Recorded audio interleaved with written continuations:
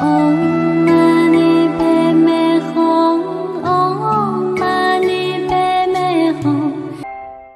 Phần chú thích Khai thị và tham vấn Hòa thượng tuyên hóa giảng kinh Thủ Lăng Nghiêm này vào năm 1968. Vài năm sau, Ngài khai thêm pháp hội tham cứu về 50 hiện tượng ấm ma trong kinh Thủ Lăng Nghiêm tại dạng Phật Thánh Thành và Kim Luân Thánh Tự. Trong suốt thời gian pháp hội, tứ chúng đều được tham dự. Hòa thượng giảng giải từng phần của 50 hiện tượng ấm ma, đồng thời chỉ dẫn từng chi tiết phương pháp để tu tập. Phần chú thích dưới đây được trích từ phần tham hỏi của các đệ tử và lời khai thị của Hòa thượng. một Hòa thượng giảng vào tháng Giêng năm 1983. Tất cả mọi người đều thích tiền. Họ nghĩ rằng thiên mệnh chi dị tiền, xuất tánh chi dị tiền. Tiền giả giả bất khả tu du ly giả, khả ly phi tiền giả. Thiên mệnh gọi là tiền, thuận theo tánh gọi là tiền. Tiền không thể rời xa chỉ trong khoảnh khắc, có thể rời được chẳng phải là tiền phàm phu trong thế gian thường mắc phải vấn đề này họ chẳng phóng xả được chẳng có gì tệ hại nếu chỉ một mình quý vị là người bị tiền đầu độc. Nhưng quý vị muốn đầu độc con và cháu mình, thế nên quý vị đã dành dụng tiền bạc lại cho con trai, con gái mình.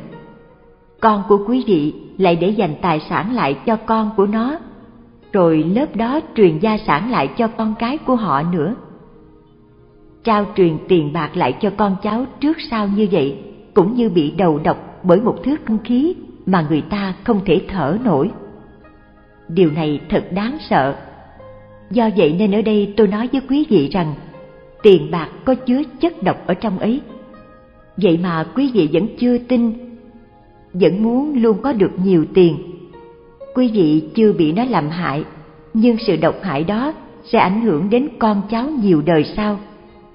Trước đây tôi đã nói rất nhiều lần, người ta cho rằng dành dụng tiền bạc là việc tốt, nhưng những người đang tu đạo không cần thiết phải giữ tiền, không cần phải để dành tiền bạc. Chúng ta không nên suy nghĩ tiền bất khả tu du ly giả, mà phải nói lại câu đó là thiên mệnh chi vị pháp, xuất tánh chi vị pháp, pháp giả giả bất khả tu du ly giả, khả ly phi pháp giả Pháp nghĩa là gì? Quý vị trả lời, tôi biết rồi, đó là Pháp của Phật, của Pháp và của Tăng. Thật ra, quý vị chưa hiểu gì nhiều. Nếu quý vị thực sự hiểu được, quý vị đã không đánh mất Pháp của chính mình. Rốt cuộc, Pháp là gì? Pháp là khí chất sinh động của chúng ta. Trên nó thông cả thiên đường, dưới nó thấu cả địa ngục, đến mức chư Phật Bồ Tát cũng đồng một thể ấy với chúng ta vì khí chất sinh động ấy của chúng ta quán thôn tất cả. Khí này như hơi thở. Quan sát kỹ ta có thể nhận biết được nó. Bao trùm và điều động được khí ấy, gọi là pháp. Do vậy, chúng ta dứt khoát cần phải nuôi dưỡng khí chất này. Chúng ta không nên để thất tán mà phải tu tập nuôi dưỡng khí này. Nên nói, tài bồi tâm thượng địa, hàm dưỡng tánh trung thiên.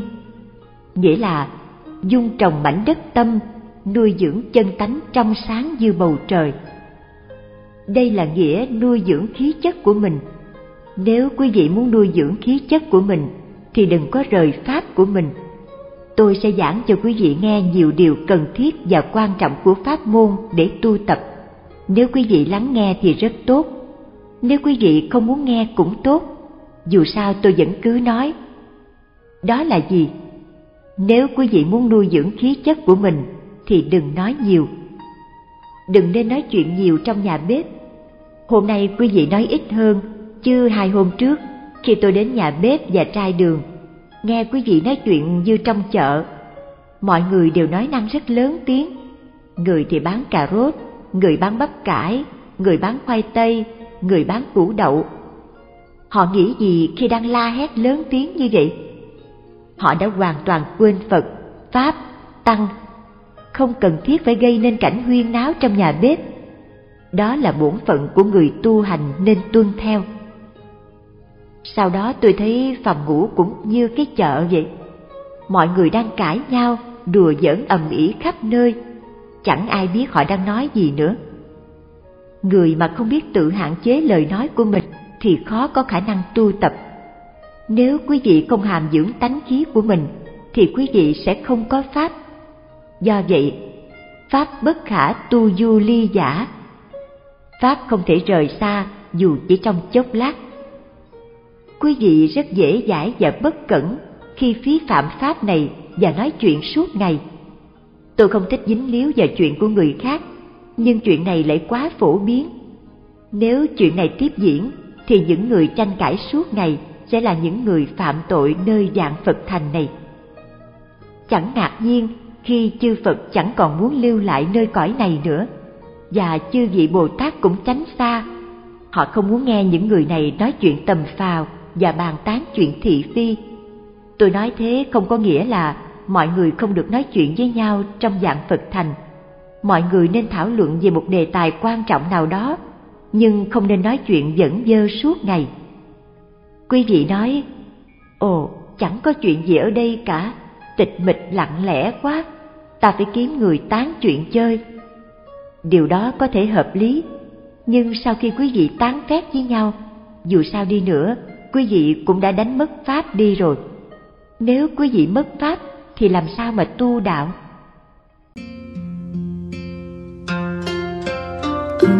Ha ha. 嗡萨摩帝梭诃